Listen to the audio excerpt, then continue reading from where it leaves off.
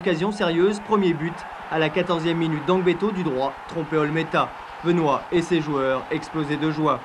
Je crois qu'on a fait le maximum surtout, c'est qu'on n'a jamais baissé les bras malgré tous les blessés qu'il y avait.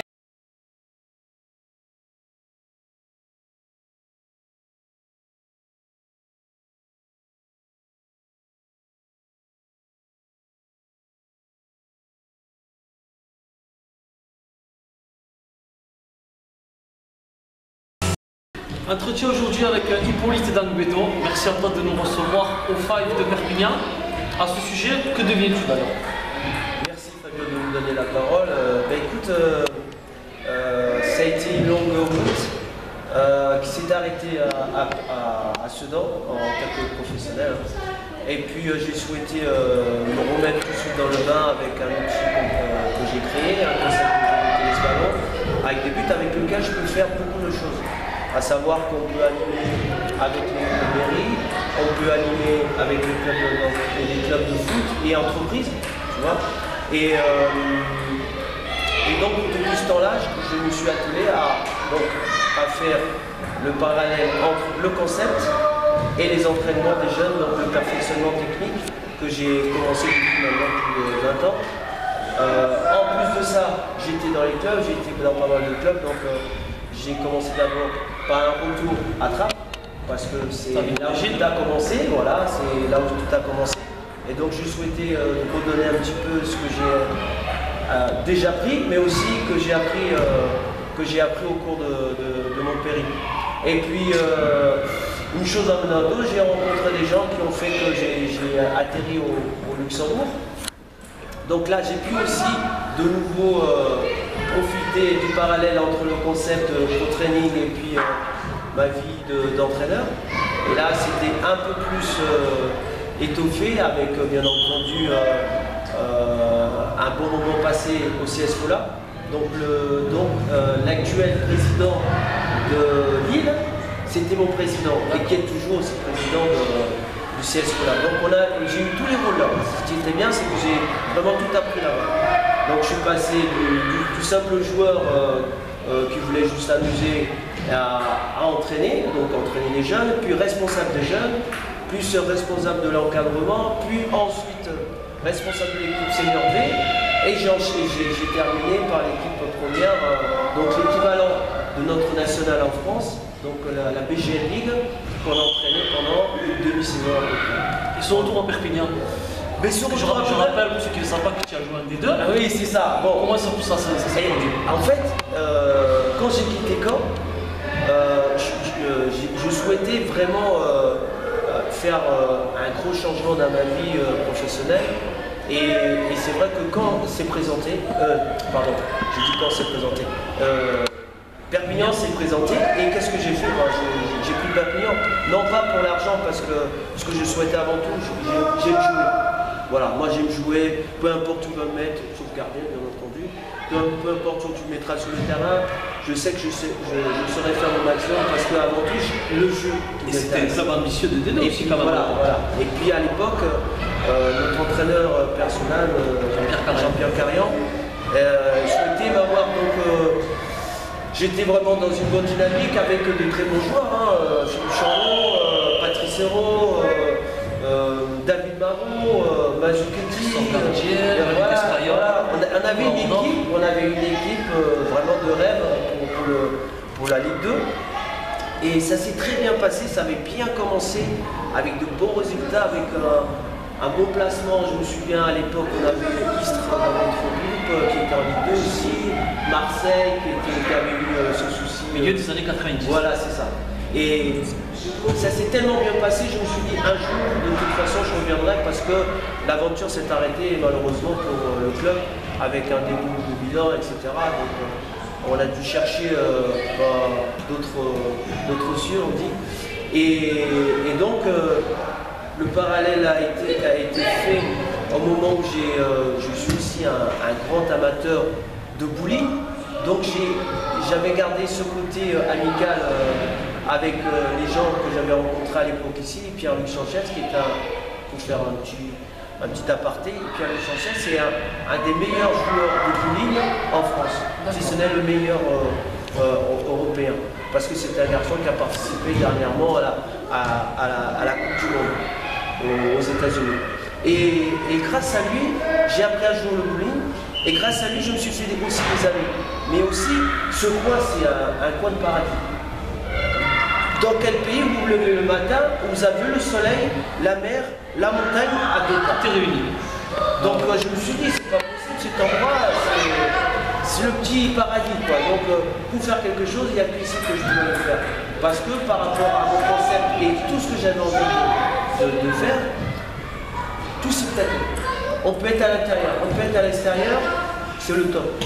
Donc euh, je me suis installé petit à petit hein, depuis à, à Depuis l'aventure perdurant, tout se passe bien. Pour le moment ça se, ça se passe bien, mais c'est grâce à Dieu. Et puis j'ai des gens aussi qui m'aident pas mal et, c'est pas mal. Oui, on va reprendre depuis le début Oui. Donc tu es né au Bénin C'est ça. À grand propos À grand propos. Comment ça c'est un à hein, Comment ça se fait justement que tu as quitté le pays pour arriver, comme on l'a dit tout à l'heure, à Trappes? Ah. Ah, ça c'est le, mon père qui était euh, souhaitait euh, réunir ses enfants parce que je suis euh, je suis un enfant de, parents divorcés, donc euh, il, a souhaité qu'on vienne en France, mon frère et moi, pour réussir, bien entendu, dans les études. À la base, c'était ça. Et moi, mon rêve, euh, et, mon rêve caché, c'était conduire euh, un avion un jour. J'étais pas trop mal en maths, travaillais pas trop mal à, l'école. Donc ce qui permettait à mon père de me laisser jouer un petit peu au foot en bas pour de la tête. Et une chose en menant d'autres, euh, ben, j'ai fini par signer dans un club, toujours avec en ligne de mire les études que me répète tous les jours mon père, travaille bien à l'école, travaille bien à l'école, et c'est vrai, on n'avait pas le choix, il fallait bien travailler pour pouvoir profiter du ballon après en bas. Et, et puis tout s'enchaînait très vite. 12 ans euh, repéré, et puis ensuite euh, suivi par euh, le Paris, et, puis après, mon père, récalcitrant par rapport au milieu foot, m'a donné un objectif. m'a dit écoute, si tu as toujours entre 13 et 15 de moyenne, je te laisse continuer. Donc j'étais en sport études à Virosé pour pouvoir continuer. Un an plus tard, ça se passe toujours bien. Et donc j'ai atterri au centre de formation. Trois ans plus tard, il est arrivé ce qui est arrivé. Je me suis retrouvé à jouer euh, Enzo Francescoli, euh, Luis Fernandez, Pierre Basile, Basile 6, grâce à qui d'ailleurs euh, mon pied à l'étrier a été euh, bien performant parce que j'ai commencé par un poste que je n'avais jamais joué.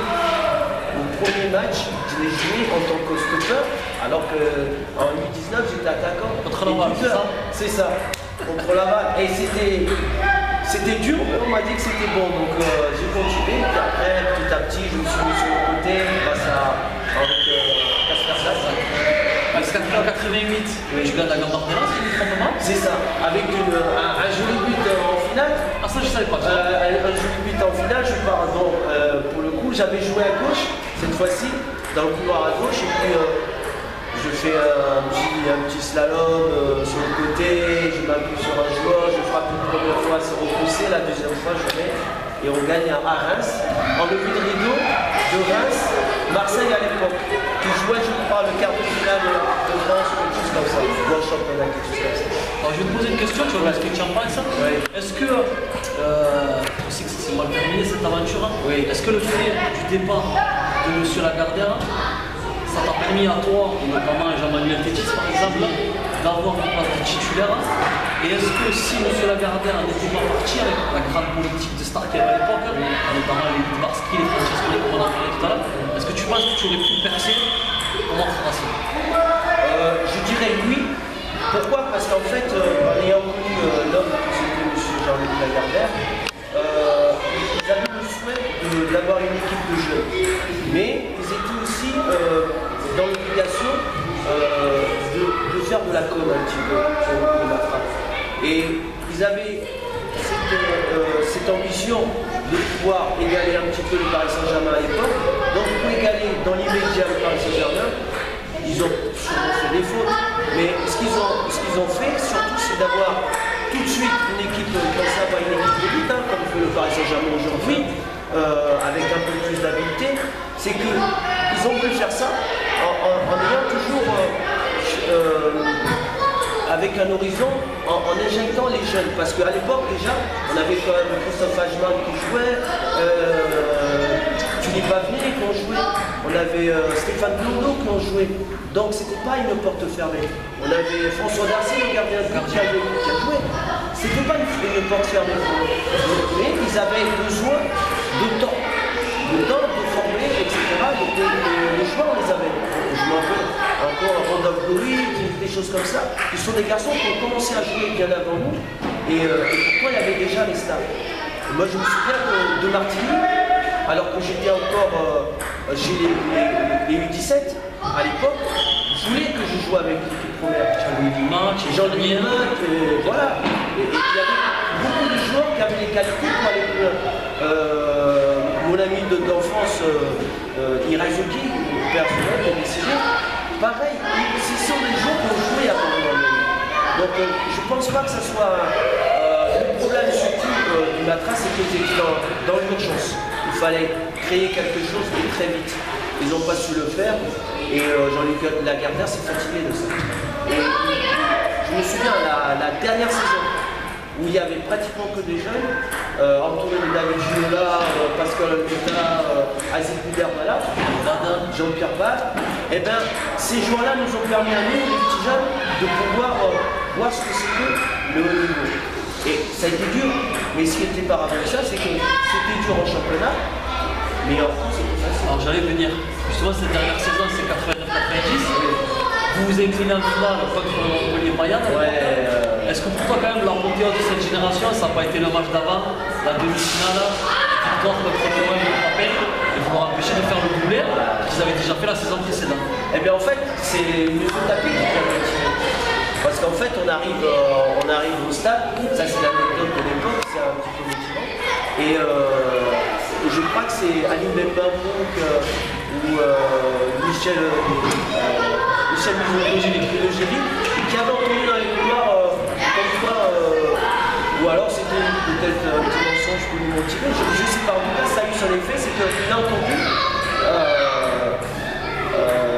M. Bernard Tapie dire à ses joueurs, le costume pour la finale est prêt, vous pouvez aller le chercher dans le lendemain. Nous, dans le stade, quand on entend ça, on dit ben, Attends, on n'a pas joué, les mecs déjà.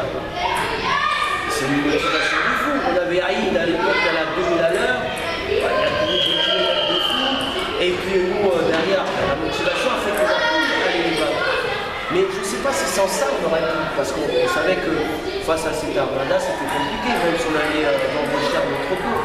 Mais l'histoire nous rappellera que tant qu'on n'a pas joué,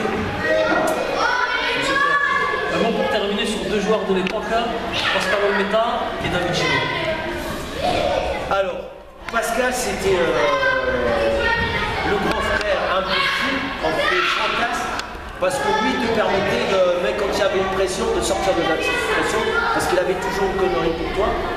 Et David, bah, c'était l'excellence pour moi. Euh, d'abord, euh, c'est le beau gosse, euh, le super technicien, pied droit, pied gauche, tête levée. Moi, je rappelle une fois qu'il nous a quittés, quand il été à Paris, il se faisait une paire de fous avec euh, Bama Lama qui nous faisait des relances à la main, directement sur la poitrine, débordement. J'avais rêvé de vivre ce, moment-là avec lui, mais malheureusement, il jouait beaucoup plus centré à l'époque. Mais c'était un fantastique. Ensuite, les heures de, les heures de on va dire. C'est pas malheur, mais tes plus non Ouais, c'est vrai. Ça, a été ma deuxième maison après le, le Matracine de Paris. J'ai été très vite accepté. Bon, c'était pas compliqué, hein, parce que c'était un public très proche de ses joueurs et toujours un poussé, etc. J'avais un entraîneur qui prenait le jeu, donc c'était facile pour moi de. Daniel Jean peu qui nous a, euh, qui nous a permis vraiment de, s'exprimer chacun dans son rôle. Et peu importe, c'est pour dire, à la maison je jouais latéral, à l'extérieur je jouais milieu, mais c'était le rêve pour moi, donc euh, je me suis éclaté, euh, pas euh, avec un match de malade en Coupe d'Europe, où on se fait rouler en voiture retour, j'ai en tête les mots de Thierry Roland et puis Jean-Michel Larquet que, euh, et euh, gratiner les arbitres de l'époque. Et un champion du monde en France, il y avait Andreas hein. C'est ça.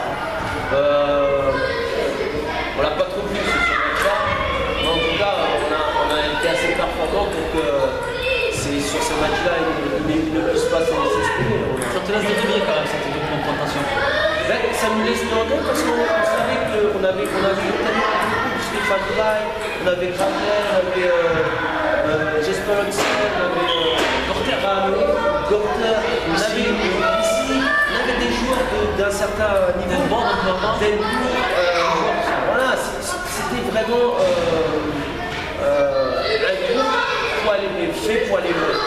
Voilà, et bon, on a, malheureusement, on a, on n'a pas pu, mais c'est le gros regret de, de l'époque. On ne sait pas ce devenu euh, nos joueurs qui passent un tour.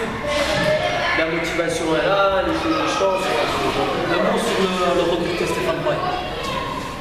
Bah lui, euh, c'est vrai, c'est... Quand on l'apprend, quand je l'ai appris, en fait, j'étais en stage, je me souviens. C'est euh, Wally euh, ami aussi euh, de, qui date de cours, qui me l'apprend et il dit euh, Oui, tu sais, euh, Steph, il est parti. Et c'est vrai qu'on a- moi, j'ai eu du mal à le digérer, en tout cas. Et, et en plus, j'étais bloqué. À l'époque, j'avais pas de collaborateur encore pour me remplacer. Je ne pouvais pas laisser les enfants euh, partir. Mais euh, c'est- pour moi, c'était un grand joueur, un grand euh, du foot parce que lui, avec son expérience, quand il a débarqué à Caen, euh, il nous a beaucoup apporté.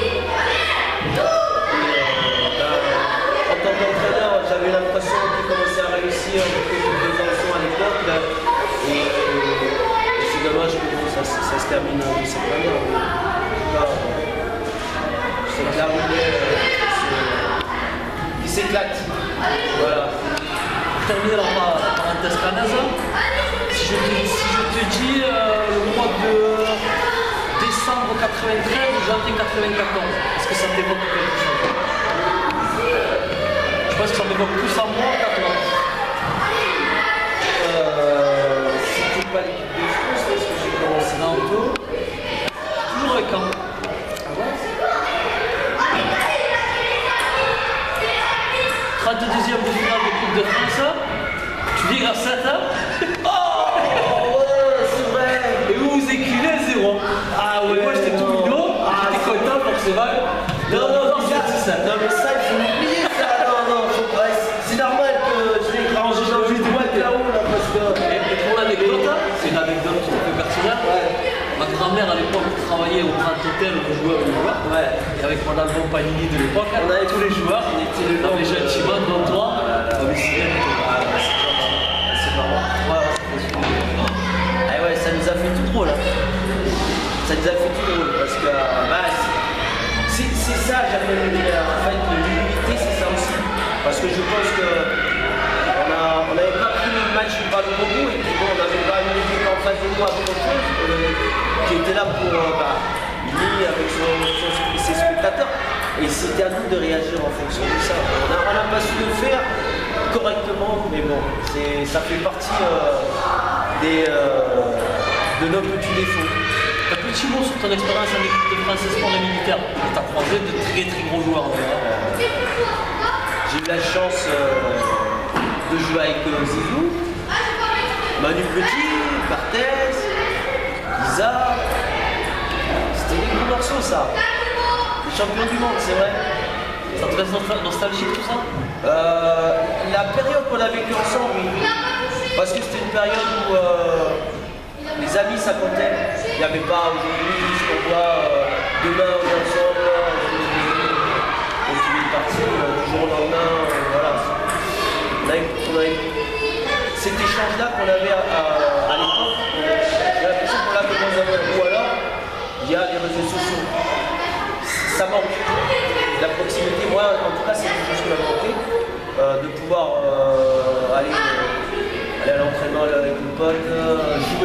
Parce qu'à l'époque, ce que j'aimais bien faire, je faisais venir très tôt euh, à l'entraînement, jouer de la canette, comme on dit, à l'époque, et faire des ballons, des choses comme ça. Toutes ces choses-là, j'ai pas Ensuite, hein, il y a eu des expériences à Troyes, à Perpignan, à Sedan. Alors, je ne vais pas remuer couteau dans plaie, mais si je te cite Monsieur Garibien. Ça, ça tue. Ça tue, mais je ne pouvais pas tout mettre sur dos. Ouais, c'est vrai, il a fait une erreur euh, à l'époque. C'est vrai que ça nous a fait tous mal parce qu'on avait l'impression qu'on pouvait vraiment euh, aller au bout de, cette coupe parce qu'on a passé une, saison extraordinaire. Et une belle saison. Moi, j'arrivais de Troyes où ils avaient refusé de, monter. Donc, euh, je pars un peu, euh, entre guillemets, un peu fâché, un peu au cœur parce que j'étais bien avec euh, l'entraîneur de l'époque.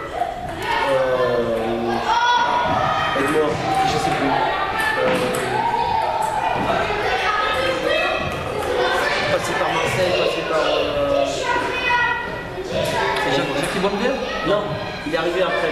Bon, bref, Alain Perret. Alain Perrin, voilà, merci. Et, et lui, pareil, c'était un entraîneur de jeu, donc euh, c'était- Rigoureux aussi. bah oui, c'était normal, ça fait partie de la rigueur du joueur. Ça, c'est normal. Mais ce qui était bien, c'est qu'on pouvait bien jouer au foot. Ils nous laissaient jouer au foot. On avait une circuit pratique préférentielle pour travailler à l'entraînement. Mais dans, dans le jeu, dans l'élaboration du jeu, j'étais libre de, de t'exprimer ça. Donc à l'époque, on pouvait monter, on n'a pas fait. Donc, donc je vais avec Patrick Rémy à, à Sedan. Et là, et là, je découvre les, vrais sangliers. euh, de fou. euh, et ben, l'année a, a plutôt moyennement commencé. Et puis on a, au fur et à mesure, on a pris confiance. Match après match, on gagne, on gagne, on gagne, et on recolle. Et là, on se dit qu'il il se passe quelque chose. Donc, bah, on est allé, hein. on chope la montée, et euh, la finale au bout, mais pour revenir à Garibian, c'est Donc je resitue. C'est vrai. Exemple Coupe de France 99. Voilà. Vous perdez contre le FC Nantes. Voilà. Avec une décision plus que litigieuse de Voilà, M. Exact, l'arbitre de la exact. rencontre. Et- mais on a eu l'occasion de revenir au score. On a eu l'occasion de à un moment donné en première mi-temps, notamment marquer et de prendre devant. Euh, C'était un fait de jeu, moi je vais appeler ça un fait de jeu, mais on avait encore le temps derrière. Et je pense que aussi euh, la saison a été longue et pas mal de choses, euh, même si on ne sent pas, même si la motivation est là, bah, physiquement ça tire quand même, faut pas, faut pas se leurrer. Et je pense qu'il y avait une part de ça aussi, qu'on avait quand même Seb euh, était bon, Alexis Anco, qui était des très bons joueurs. Euh, on avait euh, Bloc, Kane. le Bloc, Kane. C'est des très bons joueurs. Donc euh, si on avait la fraîcheur nécessaire, je pense qu'on serait passé. Parce qu'on avait largement euh. On a légal, il n'y avait, pas. Si, si on avait été guillemets, la tête euh, voilà, il arrive, il fait peu,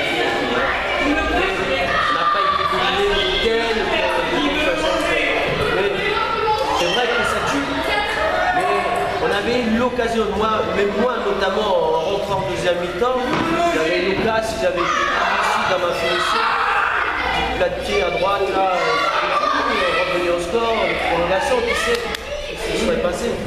Non, je pense qu'il y avait un moment, c'était comme ça, et ils ont eu l'occasion derrière, parce que bon, nous on est partis, eux ils sont restés, ils ont eu l'occasion de le refaire hein, quand même. hein. Donc euh, bon, tu as conscience euh, un joueur mythique de, la D1 des années 90 Avec les fameuses images Panini, tout ça ça c'est toi qui le dis. Moi, moi, moi je l'ai apprécié euh, parce que c'était une époque, euh, pour nous c'était des, des époques glorieuses, on va dire. euh, mais avant tout c'était le jeu. Oui, oui, c'était ça qui comptait. C'est ça qui comptait. Plaisir avant tout. Voilà. Ça. Moi je me, tu as donné euh, ces messages. Voilà. Et pour les dernières questions, Oui. tu vas avoir cette année 50 ans. Ah, ça se fait, hein Ah oui Si tu te retournes sur ta vie uniquement de footballeur, Oui. est-ce que tu regrettes des choses tu te dis, c'est pas mal c'est déjà magnifique? Je vais te dire les deux. Ce que j'ai eu, merci mon Dieu, merci les amis, merci les personnes qui m'ont poussé. Merci ceux qui m'ont qui m'ont remarqué, qui m'ont remarqué que j'avais des. ont fait confiance en moi. Par exemple, quand j'étais au centre de formation, j'avais Roger Fleury qui m'a beaucoup c'est euh, la carrière de professionnel. Parce que si, lui n'avait pas poussé, c'est pas si j'aurais pu. Peut-être pas d'autres voies parce que j'avais la volonté, mais c'est toujours un coup de pouce. Et oui, ça a été un, coup de pouce.